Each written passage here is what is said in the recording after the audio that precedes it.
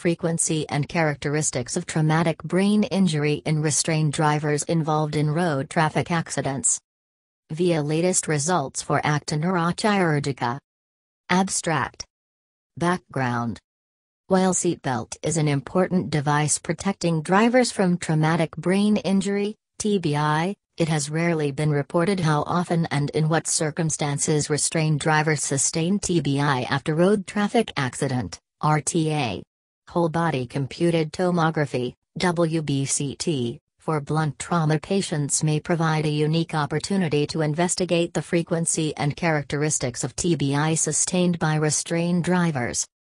Methods A single center, retrospective observational study was conducted using prospectively acquired data.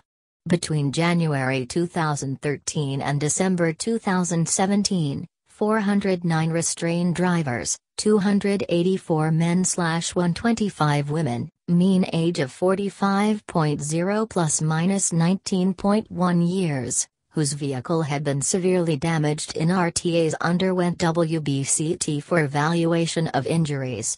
Multivariate regression analysis was performed to identify variables predictive of TBI. Influence of collision patterns, frontal, lateral or rollover, on the frequency and severity of TBI was evaluated. Relationship between collision patterns and CT findings was also reviewed.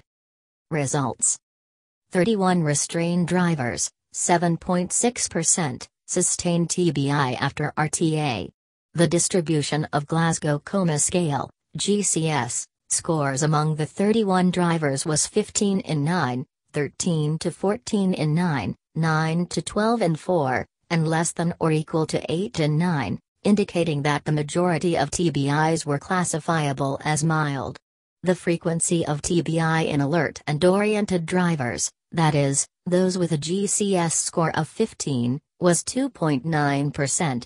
Multivariate regression analysis showed that both altered mental status, or 4.933, 95% sit 1.135 to 21.431, and loss of consciousness, or 6.492, 95% sit 1.669 to 25.249, were associated with TBI. The frequency of TBI tended to be higher in drivers with rollover collision than those with frontal collision, 6 versus 13%, P equals 0.07. Interhemispheric acute subdural hematoma and subcortical petechial hemorrhage seem to be characteristic CT findings in drivers with frontal and lateral collision, respectively.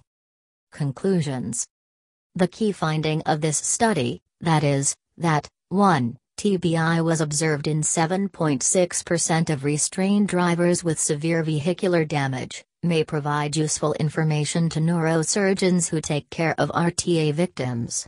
The majority of the TBIs were mild without need for neurosurgical intervention. While association may exist between type of collision and type of brain injury, further studies with prospective design are warranted. Add tags, currently, neurosurgery, hash medicine by Alexandros Sfakianakis, hash o.r.l. Sfakianakis, by Sfakianakis G. Alexandros.